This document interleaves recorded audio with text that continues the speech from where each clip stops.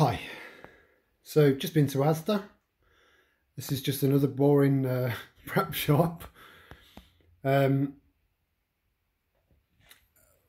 right, so I bought four packets of, uh, of veg to go in there, some sweet corn to go in there, some onions to go in there.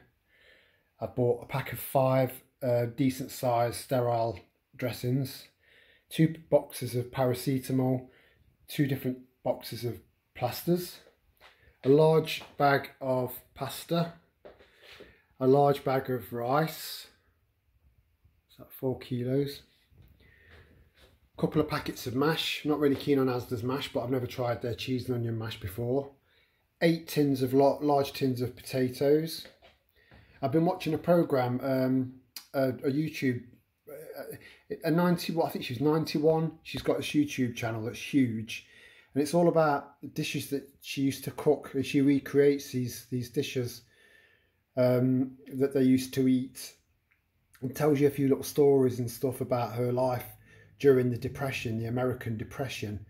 So it's fascinating. She's a bit dithery but she's lovely.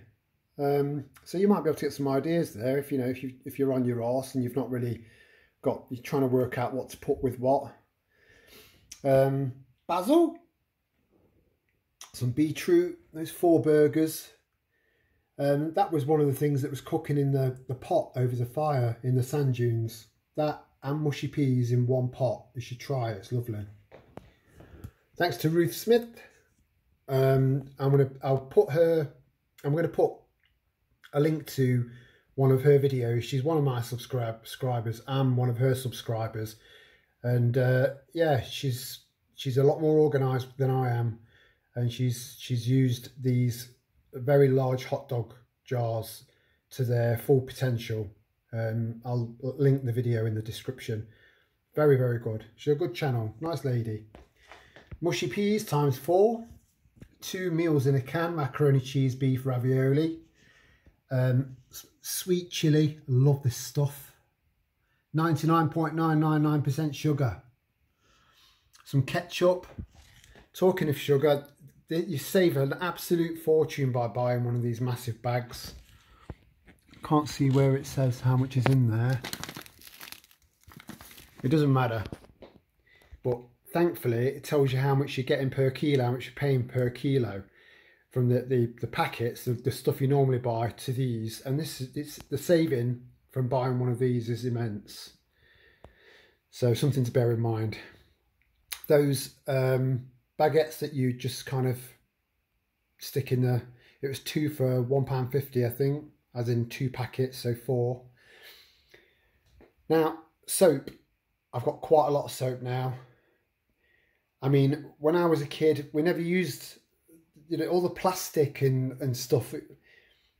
There's not much you can do with it and very little of it gets recycled in your shower gels you know, I think one of the main reasons why people stopped using soap and started using shower gel was because every now and then there'd be a mysterious pube stuck in the soap.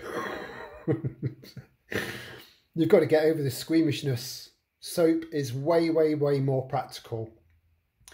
Um, and there's virtually no waste. You know, your, your imperial leather, we used to use it all the way down to the sticker. Baps, Oh, I love my baps. Let's to go with some hot dogs later on. I got some more um, flameless, uh, it's flameless, that'd be useful, wouldn't it? Smokeless fuel, um, 10 kilos.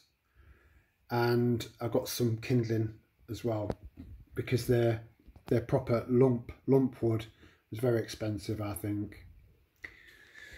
So, yeah, that's today's prep shop. And this little lot came to £55 and 99 pence. So that's it. That's it for now. And ciao for now